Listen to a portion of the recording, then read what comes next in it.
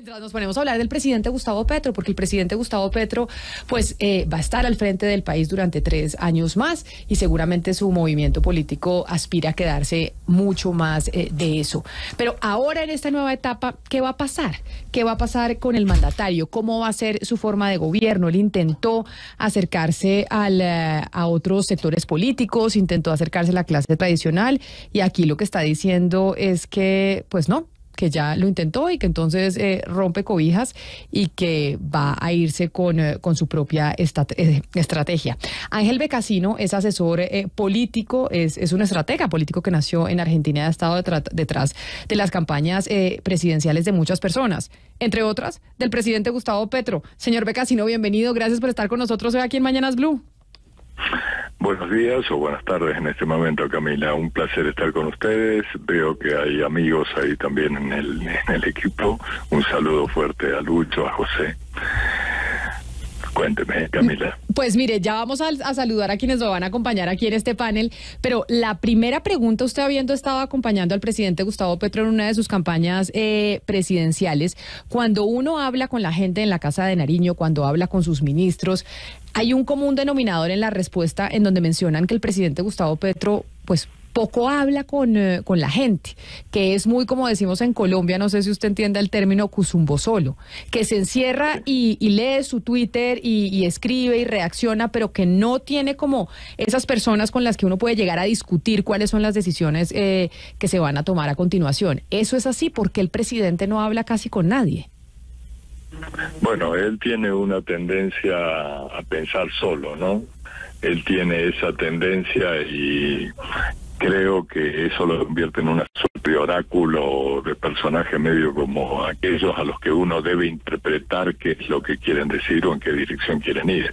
En el caso del 18 se dio una relación que realmente rompía con eso, que fue Alberto Cienfuegos, eh, Gustavo Petro y yo nos reuníamos los lunes y realmente había comunicación y proyectábamos cosas y demás. Pero mi experiencia con Gustavo es que su línea general es el y él solo con una dificultad que es no tiene una una transmisión de lo que piensa y cómo piensa que se debe aterrizar a la realidad. Y eso provoca unas distancias en dirección a lo que, digamos, a lo que la gente esperaría que esté ocurriendo. Entonces, falta el aterrizaje Gustavo, por el estilo de ser de él, ¿no? Y usted acaba de decir algo muy cierto, y es que toca tratar de interpretar. Entonces, como él es tan, tan solo y analiza las cosas solo y las decisiones que toma las hace principalmente eh, él solo, entonces uno dice, bueno, ¿a quiénes acudimos? ¿Quiénes son las personas que los conocen, que han trabajado con él para saber, pues, hacia dónde va el presidente ahora en esta nueva etapa? Déjeme saludar al exalcalde de Bogotá, Luis Eduardo Garzón, pero que además también eh, fue ministro de Trabajo en el gobierno de Juan Manuel Santos, quien militó en un mismo partido que el, eh, que el presidente Gustavo Petro, exalcalde Garzón. Bienvenido, qué placer volverlo a tener eh, y poder hablar con usted en estos micrófonos de Blue Radio. Hola Camila, ¿cómo va? Un saludo muy especial a, a José, amigo eh, de, de, antaño, y a, y a Ángel, qué rico verlo y saber que está en este programa. Mire, Lucho, usted no se debe acordar, pero yo tengo una anécdota de haber estado con usted muy chiquita. Usted era alcalde de Bogotá. En ese momento, el eh, presidente Gustavo Petro era senador por el Polo Democrático y usted haciendo algunas referencias al presidente Gustavo Petro, entonces senador. Y por eso me parece importante tenerlo aquí, porque usted que lo conoce a nivel político al, al mandatario, ahora con este remesón, sabiendo que él está solo y porque le gusta estar solo, es en esta nueva etapa, ¿cuál es el eh, Gustavo Petro que vamos a ver? ¿Qué es lo que pasará políticamente con las decisiones que tome el mandatario de lo que usted conoce de él? No, en primer lugar, gracias por decirme que usted estaba chiquita, yo ya estoy demasiado viejo. Pero, pero, pero bueno, eh, me parezco un poco a la edad del gabinete, porque el gabinete tiene harto viejito y viejita también en este escenario. Bueno, pero ya salieron muchos. ¿Ah? Ya salieron muchos de los que eran los más mayores, ya salieron y entró gente más joven. Menos mal que usted me entrevista para, para estar armónico con el momento antes de que me cierre el micrófono. Voy directo al grano. Para entender a Gustavo Petro hay que ver qué representa Gustavo Petro, el M9. Y el MG9, entre otras cosas, es la historia, usted lo ve en la simbología, en, el, en la espada de Bolívar, lo que significó para ellos, eh, lo que significa el sancocho nacional en relación a, lo que decía Jaime Bateman. Él reivindica permanentemente el 19 de abril, cumpleaños el 19, el mismo día del movimiento 19. Entonces hay que entender la lógica de un movimiento. Y ese movimiento, de alguna manera lo podrá decir mejor José, que él era chiquitico cuando, cuando estaba Jaime Bateman.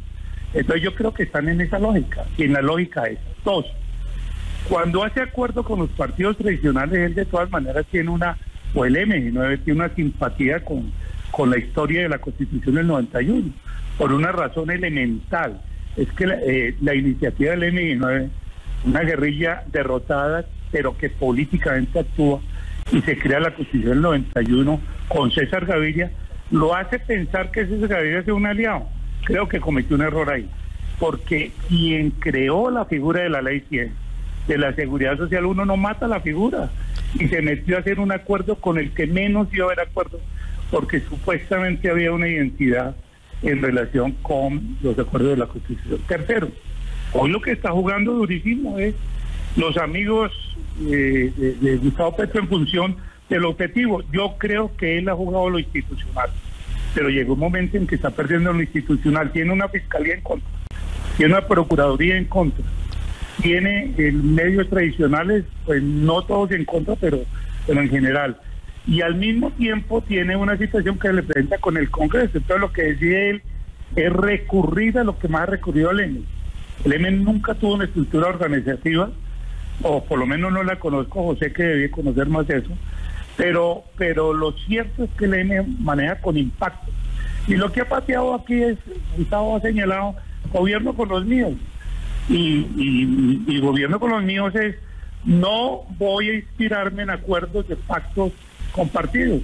Y eso es lo que sucedió ayer y lo que viene, en mi opinión, es que va a tratar de captar, capturar, de cooptar a movimientos sociales. Eso lo hace con el movimiento cooperativo, con el movimiento comunal, con el movimiento sindical, ahora en el discurso que hizo el tratar en presencia de la ex ministra de Silia, lo que señaló es vamos a trabajar de una manera directa con la población agraria y la manda a rebelarse. Entonces yo lo que creo es que Gustavo está correspondiendo a una línea que es muy, muy mediática y bueno, ya los estudios psiquiátricos, psicológicos, por qué está solo, qué pasa, si se deprime no, eso ya no es mío. Pero, le hablo políticamente como Gustavo, que todos venimos de cultura. En la izquierda no es la misma velocidad no es la misma cultura, no es la misma cultura del Partido Comunista con el MGM. Entonces la historia es que de una u otra manera cuando uno es niño, después adolescente, adulto y cuando ya llega a su adultez corresponde a las frustraciones o a los o a las cosas que los llevan en la infancia.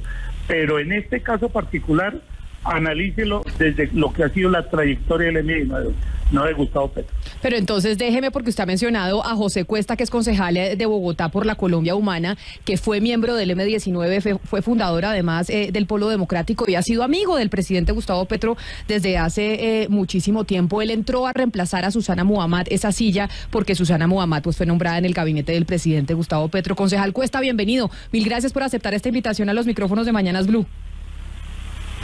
Camila, muy amable por la invitación. De paso, pues un saludo a toda la audiencia y particular y especialmente a mis dos amigos el exalcalde mayor de Bogotá, Lucho Garzón, y por supuesto Ángel Becasín. Bueno, y ya que estamos entonces entre amigos, ya que ustedes tres son amigos y se han saludado muy amablemente, concejal Cuesta, ¿coincide usted con lo que dice el, exalcalde Lucho Garzón, en donde aquí lo que va a empezar a aplicar eh, el presidente es la lógica y las formas del M19 que tenemos que aprender a entenderlas quienes estamos tratando de analizar lo que va a pasar de ahora en adelante desde la presidencia?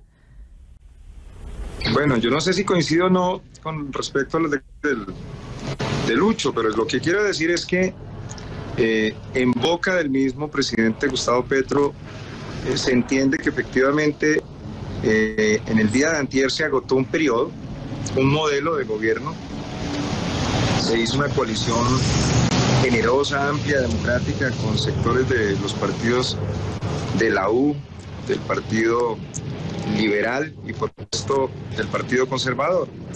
Eh, eso permitió establecer un acuerdo de carácter político en el sentido de que estos eh, partidos tenían un, un espacio de participación política dentro del gobierno, pero asumieron una actitud realmente inconsecuente, porque por supuesto estaban gozando de las mieles de esa participación política en, el, en los distintos espacios del gabinete y del gobierno del presidente Petro, pero sin embargo no se comprometieron con garantizar que en el Congreso de la República se tramitase el paquete de reformas sociales entre ellas la más importante ahora mismo, la reforma a la salud. Se convirtieron en eh, básicamente en un obstáculo para las mismas y pues llegó la, el momento en donde el presidente Petro lo que hizo fue tomar una determinación absolutamente lógica desde el punto de vista político. Concejal, pero decía el exalcalde Lucho Garzón, que está aquí con nosotros eh, y continúa en esta conversación, que el M19 tiene una estrategia de impacto y de verdad de generar las transformaciones a través de impactos como lo que estamos viviendo en este momento con el remesón eh, ministerial y que tal vez lo vivimos, por ejemplo, en la alcaldía de Bogotá cuando él estaba en el Palacio Líbano con el tema de las basuras, que también fue un impacto que dijo, acá cambiamos a través de estos remesones. Esa es la manera de, de gobierno y esa es la manera eh, en que se conduce y se, se, conduce la estrategia para generar eh, los cambios en el país desde el M19? en el caso particular que nos ocupa ahora, había un acuerdo político, programático. Obviamente todo lo que tenía que ver con la participación política en el gobierno del presidente Petro de estos partidos, pues se daba por descontado en el marco de ese acuerdo político. Pero lo sustantivo era que efectivamente sectores de, o más bien las bancadas de estos partidos contribuyeran notablemente a lograr que efectivamente la reforma a la salud se convierta en una realidad en el Congreso de la República. No hubo una actuación, digamos, eh, comprometida, consecuente con ese pacto político y sencillamente se rompe. En lo que tiene que ver con las cúpulas de los partidos, importante decir eso. Ahora mismo eh, esta mañana hablaba el ministro del Interior, anunciaba una cosa súper importante. No, no significa que no se va a seguir haciendo el esfuerzo, por ejemplo, en el caso del Partido Liberal, de lograr el consenso con los sectores democráticos del Partido Liberal que están profundamente indignados, entre otras cosas, con esa carta en donde se les puso una especie de espada de Damocles para los liberales, tanto en Cámara como en Senado, congresistas que eh, aportaran y apoyaran la reforma a, la salud. Ahora lo contaba esta mañana el ministro del Interior, es que ya hay 25 parlamentarios de Cámara, de 33 del Partido Liberal, que están efectivamente convocando al director eh, del Partido Liberal, César Gaviria a que se convoque en forma inmediata la votación dentro de la bancada, porque muy seguramente ahí se va a encontrar un hecho significativo. Permítame, ¿Cuál es? Permítame, señor Cuesta, em, porque lo que nos interesa también es ver qué es lo que puede pasar con el presidente, más que el análisis ya del, del tema de la reforma a la salud. Esta pregunta es para el señor Becasino. Eh, Ángel, mucha gente está diciendo es que a Petro ya lo acorralaron y no es solamente los partidos que, digamos, le, pusieron estas condiciones para apoyar la reforma a la salud, sino que ha sido la Corte que ha emitido unos fallos en los que le hace pues unas advertencias de eh, que no puede, eh, digamos, tramitar unas leyes de una manera inconstitucional, que también ahorita tenemos la encuesta Invamer Galup que está diciendo que hay 57% de desaprobación. Entonces, lo que, lo que tal vez usted nos pueda ayudar a entender es qué podemos entender, qué podemos esperar de ese Petro supuestamente acorralado. Se acabó ya el Petro conciliador, el Petro de los consensos y viene el Petro eh, radical que incluso podría eh, romper con la Constitución. No, no, creo que no, para nada. Eh, me parece que incluso estos cambios que hizo en el gabinete son una señal de que el proceso sigue en desarrollo. Eh, creo que si bien hubo una tensión muy fuerte o hay una tensión muy fuerte con el Partido Liberal, me parece que hay otras instancias, la U, el Partido Conservador, con las que hay un margen de, trabajo. Y ahí estoy en desacuerdo un poco con lo que dice José. Me parece que faltó capacidad de negociar o, en estos días alguien me decía que lo que le está faltando al gobierno es modales, no modales para comportarse y para negociar. Entonces creo que el proceso se está desarrollando, que hizo una serie de ajustes. El de salud me parece que fue un excelente movimiento que hizo Gustavo en este momento. Me parece bien también, qué sé yo, los otros nombramientos que ha hecho, pero en particular el de Guillermo Alfonso me parece que es pasar de una posición mm, que se percibía como intransigente y que tuvo un recorrido de fricción muy grande con quienes debían negociar y entrar con la posibilidad de una persona que tiene capacidad de negociación, que tiene oficio, que tiene experiencia y que viene del sector salud y por consiguiente creo que su rango de comprensión de lo que está en juego con la reforma esta es muchísimo más amplio. De acuerdo, pero mire, yo sí quiero yo sí quiero que, que Lucho Garzón, que lo conoce muy bien, además tuvo la experiencia de la alcaldía, ambos tuvieron esa experiencia de ser alcalde de Bogotá, me, nos hable del talante, de eso que Álvaro Gómez llamaba el talante del gobernante, y el talante del gobernante se conoce mucho en las crisis, en los momentos difíciles. Eh, está visto que el presidente Petro, por ejemplo, eh, no le gusta entenderse con las élites, eh, lo ha expresado de varias maneras, tanto en, en eventos populares como en Valledupar, pero también lo acaba de hacer hoy, por ejemplo, cuando se conoció el nombramiento del presidente de la Federación de Cafeteros, y el presidente Petro trinó de inmediato diciéndome, nos vamos a entender entonces con las bases, con los comités cafeteros, ya que no me puedo, no nos vamos a entender con las dirigencias. Ese talante del presidente Petro eh, Lucho Garzón, usted que lo conoce, en estos momentos de crisis, ¿cómo se manifiesta hacia el futuro? ¿Qué podemos esperar de cómo va a reaccionar ese presidente Petro con ese talante que se le conoce y que hemos visto de alguna manera expresarse en estos hechos que le acabo de narrar? No, yo pienso que Gustavo tiene absoluta, perdón, el presidente, eh, tiene absolutamente afirmada su política en materia social o hacia dónde va, etcétera. Pero lo, digo por qué, porque una vez yo conversando con él le dije, es que yo no fui un gobierno de izquierda en Bogotá, yo fui un gobierno social. Y lo social, por lo menos la lucha contra el hambre, se hace con iglesias, se hace con detractores, se hace con, con Enrique Carulla, se hace con eso. Entonces, la agenda de, la situación de la lucha contra el hambre es convocante, no confrontadora. Entonces, ¿yo qué creo? Yo le dije, yo no soy un gobierno de izquierda, yo soy un gobierno social. Él sí considera que ese es un gobierno de izquierda. Eso, eso es una mirada respetable, me parece justa y puede mirar por donde se quiera. Pero lo cierto es que yo sí lo veo que está muy, muy, muy... Él tiene tres rutas. Paz total, que de verdad todavía no tiene partitura y uno no ve para dónde va bien. El tema de la institucionalidad, lo han dicho ustedes con las cortes, con los consejos, con los medios, con todo, tiene con las encuestas y el tema es que va a contar con la con la con la movilización social. Mire el discurso de Zarzal. Zarzal llamando a que los campesinos se, se indignen y peleen por sus derechos. Mire hoy en Blue la entrevista que hace el señor Rojas de Sáenz que dice, hombre, yo Jennifer considero que sí va a actuar sin miedo en relación al tema de las tierras para los campesinos. ¿Qué quiere decir? Que la otra tenía miedo. Mire usted que el primero de mayo, por primera vez, el territorio no va a ser la Plaza Bolívar, la Plaza Bolívar va a ser, pero un complemento, va a ser el balconazo. Desde el balcón va a hablar.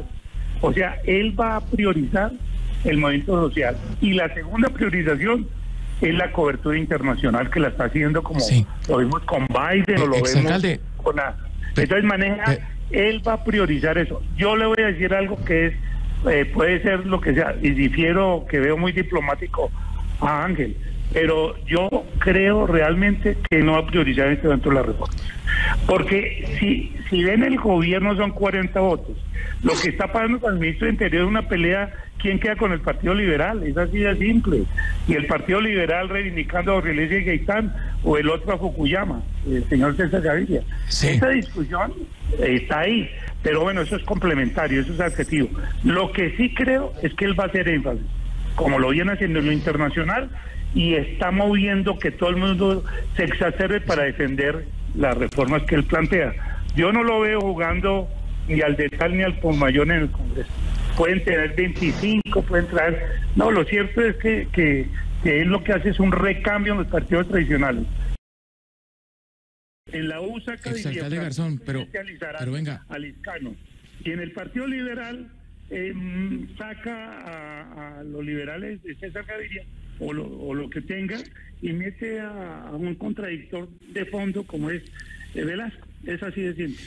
Pero venga, es alcalde Garzón, eh, usted dice que la, eh, la prioridad de, del presidente Petro va a ser pues la movilización social, que va a estar permanentemente promoviendo eso. ¿Eso no se le puede revertir en algún momento? O sea, que le den de su propia medicina. Creo que ya lo estamos viendo, le bloquean municipios en Antioquia, le bloquean la vía Buenaventura, a esta hora está bloqueada la vía panamericana entre Cali y Popayán.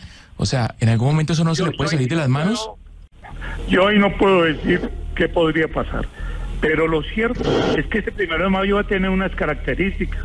El balconazo, va a salir la gente no contra un gobierno, un primero de mayo su génesis, sino a favor del gobierno los que van a salir. Entonces es una, mire usted, el tema de movilización, sí, se hace un inventario que me parece correcto.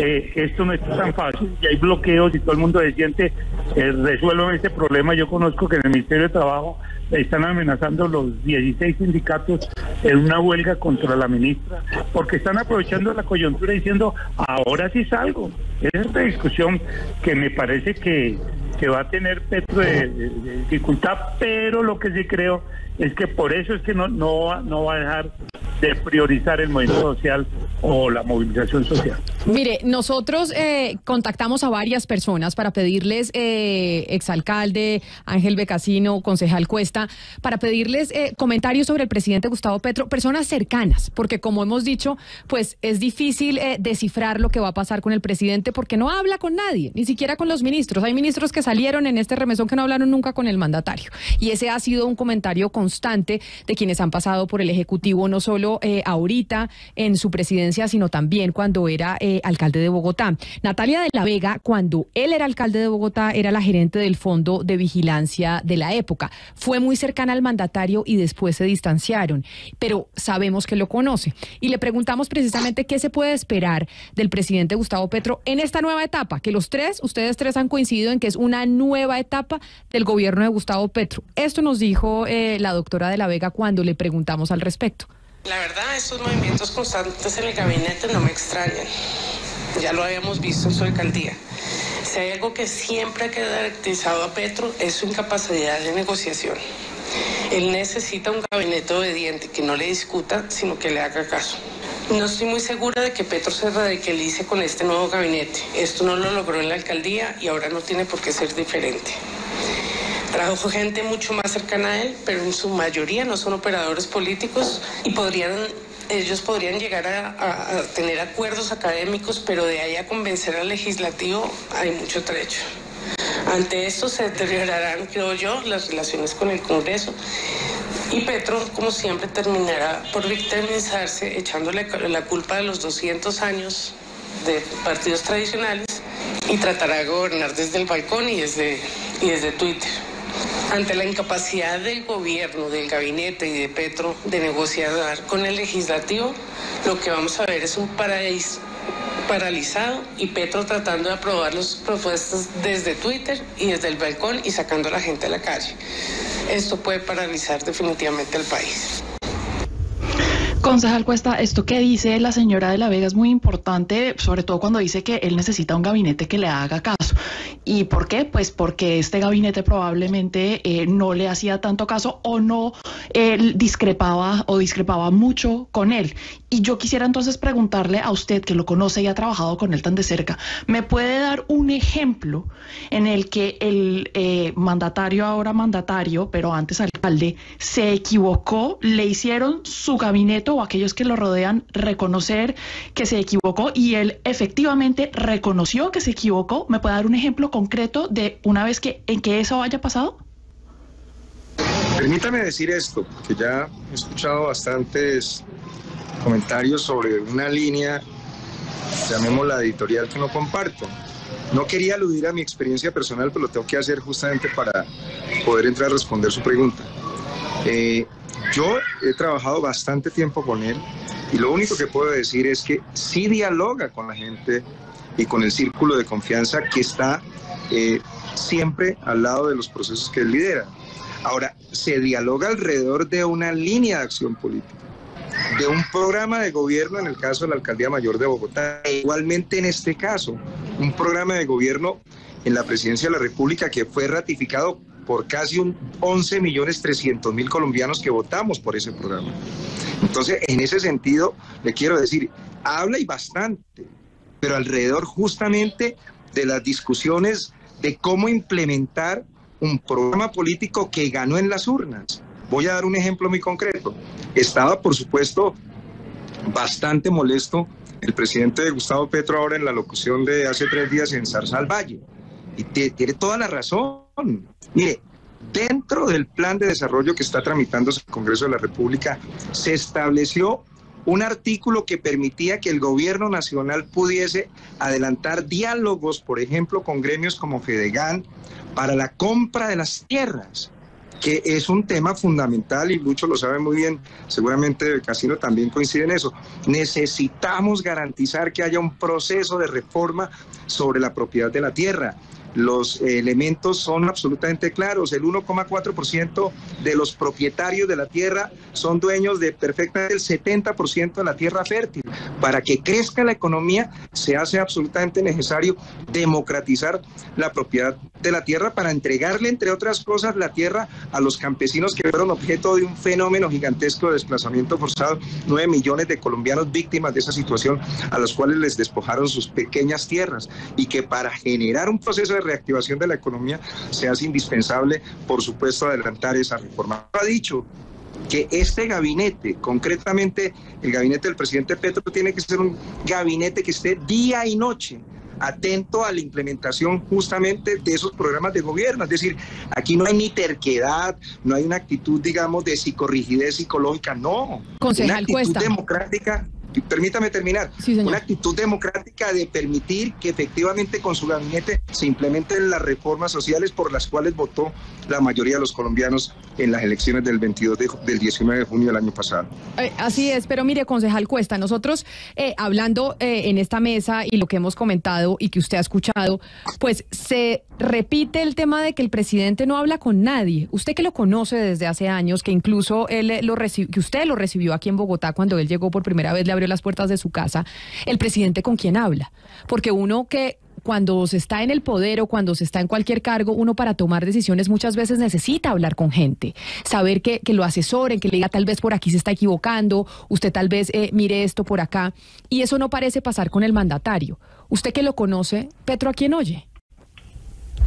Ahora mismo puedo decirlo con toda claridad, habla con mucha frecuencia con Eduardo Noriega y hablan de política y hablan justamente de cómo se construyen unas mayorías eh, sociales, en eso tiene toda la razón Lucho Garzón, evidentemente además no es una cosa nueva.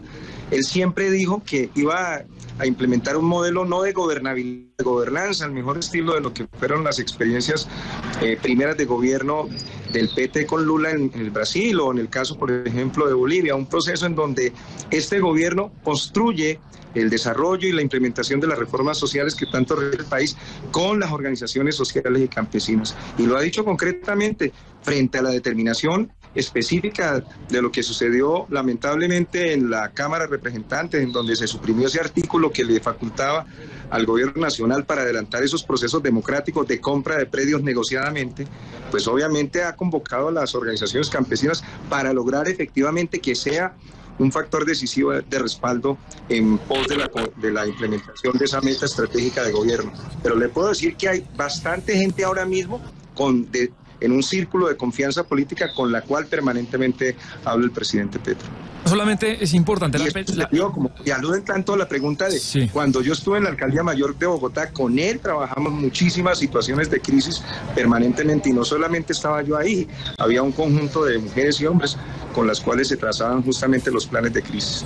Eh, claro, pero no solamente es importante el tema político, ideológico, sino los rasgos de la personalidad del líder. Por eso, señor Becasino, quitémonos las ideas que tenga el, presidente y su ideología en la intimidad. Eh, ¿Cómo son los, son los rasgos de su personalidad en momentos de crisis? ¿Es fácil llegar a él? ¿Es una persona eh, soberbia, nerviosa? En, en, estos momentos, ¿usted cómo se lo imagina si estuviera eh, en el sofá sentado a su lado? ¿Se aísla? ¿Qué hace una persona como él en momentos de, de crisis? No, es un, es un hombre con, con mucha serenidad para observar las cosas es una persona que vive pensando en las cosas, un hombre que lee mucho, que se informa, que investiga y demás. Es decir, hay un montón de méritos que son innegables en la personalidad de, Gustavo. Lo que a mí me parece, y recojo algo que dijo Lucho, es que tal vez no hay una elaboración de la partitura que le permita a los del equipo o al país interpretar esa partitura. Esto es como en una orquesta. Si la partitura no es clara, el instrumentista no la puede interpretar y ahí vienen los errores, se equivocan, la orquesta suena mal.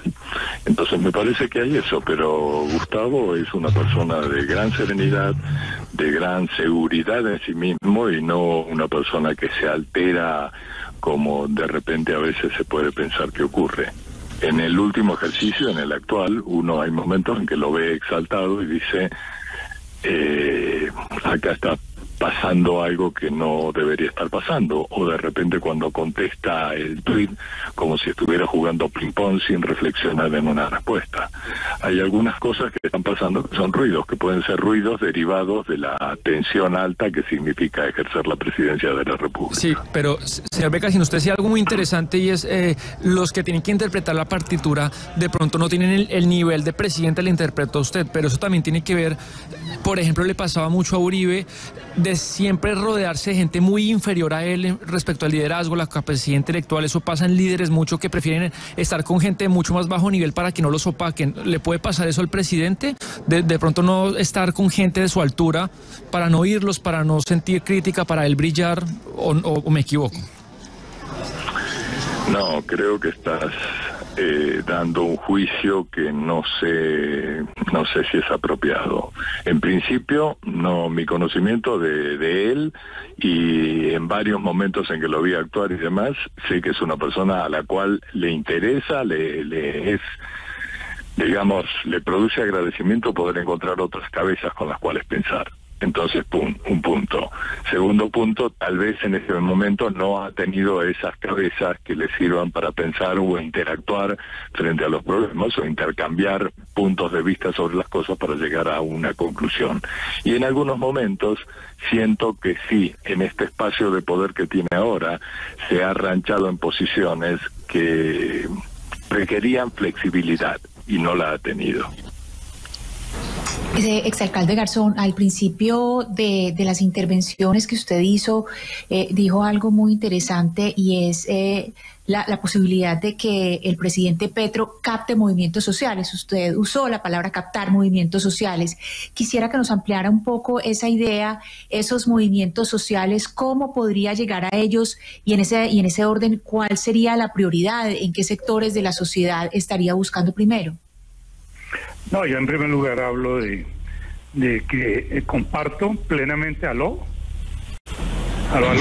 Lo escuchamos, lo escuchamos, exalcalde. Bueno, Aquí lo oímos. Eh, Parto de un elemento que me parece clave. Lo primero es que Natalia de la Vega ha escrito exactamente lo que va a pasar, que es una reafirmación de lo que ha señalado.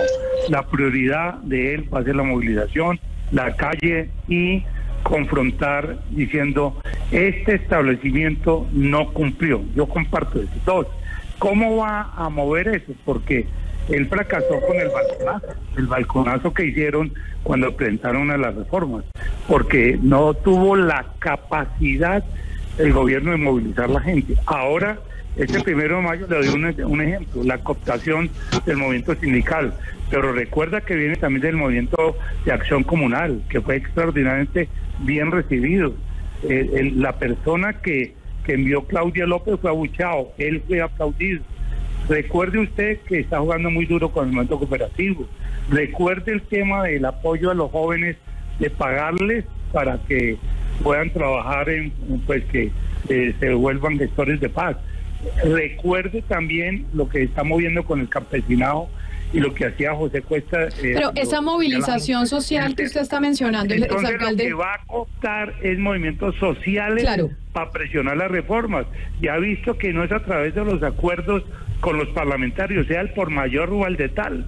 Pero hoy, hoy va a privilegiar la movilización. Pero usted que fue eh, alcalde de Bogotá, usted que conoce el Ejecutivo, esa forma de gobierno, de no hacerlo a través del Congreso, no hacerlo a través de los partidos tr- tradicionales, sino a través de la eh, presión popular, de las calles, de, la- de las bases populares, eh, puede ser efectiva? Es decir, lo importante es que las cosas se hagan. Como se hagan, eh, quizá podríamos discutirlo, pero... uno convoca y va todo el mundo. No, no, no, no, no. Pero evidentemente él va a mover diciendo, esos partidos no permitieron, voy a cambiar la agenda, estoy hablando en nombre de los pobres, etcétera, toda esta serie de cosas. Y lo que creo es que el momento es muy difícil para hacer eso.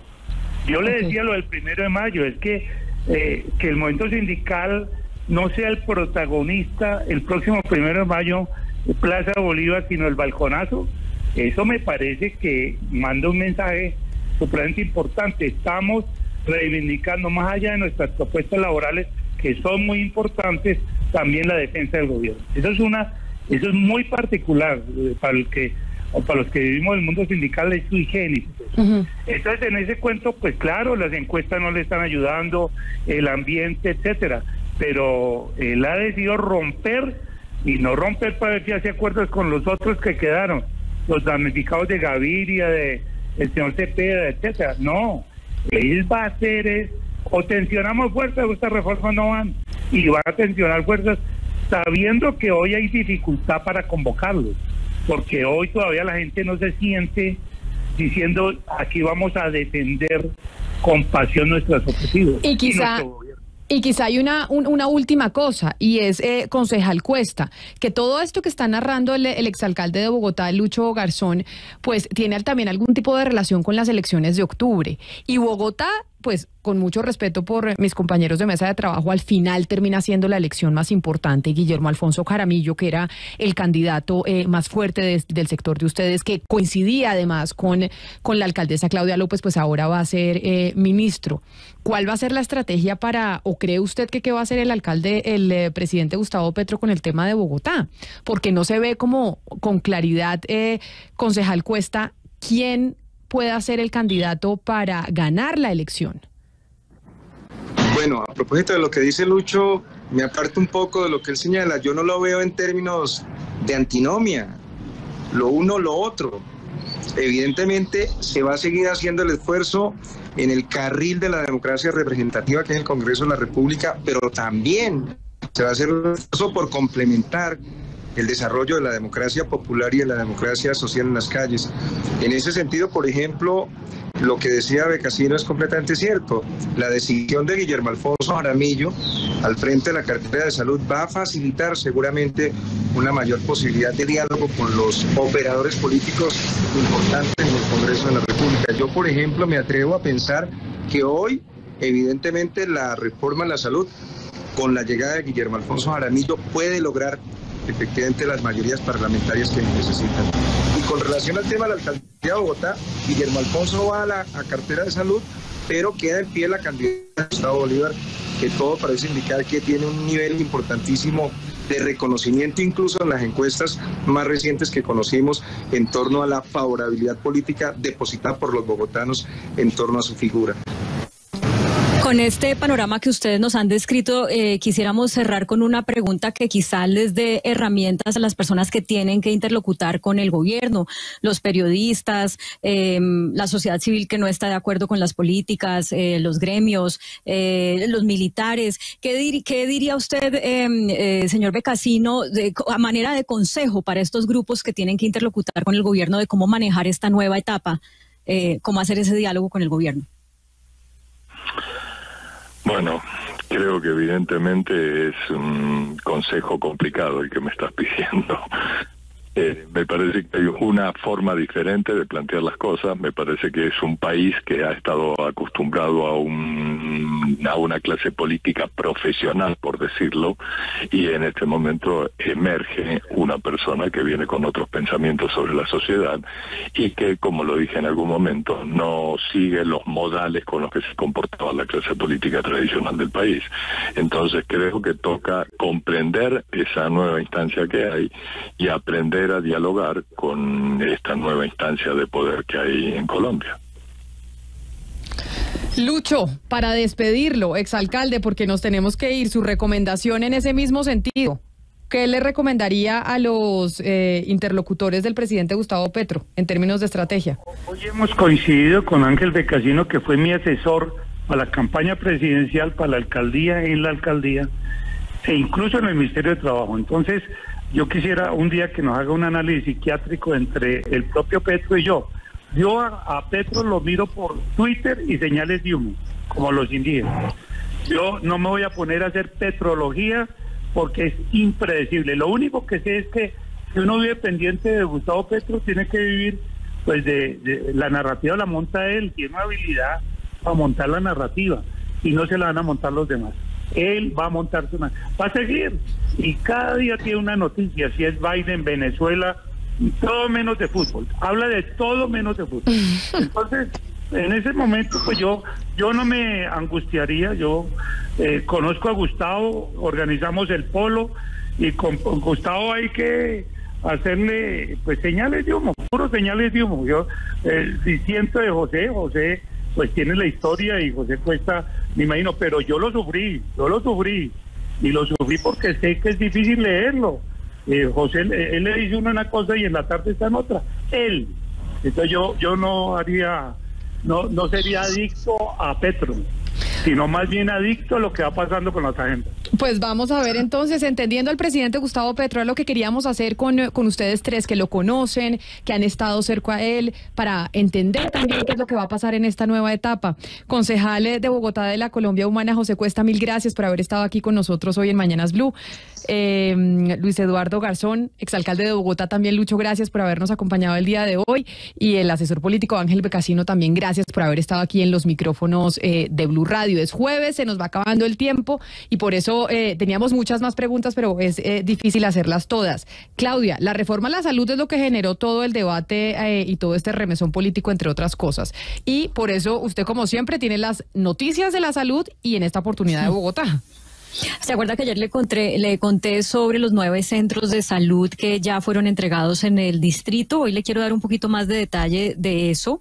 Eh, el centro en San Cristóbal, en la localidad San Cristóbal, están los centros Libertadores y Altamira, que benefician a más de 87 mil habitantes. También está el centro de salud Diana Turbay, que atiende a 275 mil personas en la UPCT Marruecos. Em, ¿Qué más le cuento? Se están beneficiando también en Ciudad Bolívar 88 mil habitantes en la localidad de los centros de salud eh, Manuela Beltrán y Candelaria La Nueva. Esto solo para ponerle unos ejemplos de esos nueve centros de salud que ya han sido entregados y que en total van a ser 20, porque esos son, ese es el compromiso del gobierno distrital, más siete hospitales que también están en proceso. Pues así con esa información de salud eh, nos vamos y nos queda una última recomendación, agradeciéndole a todos ustedes que hayan estado conectados con nosotros, aquí entendiendo esta nueva etapa del gobierno del Gustavo Petro. Blue, la alternativa.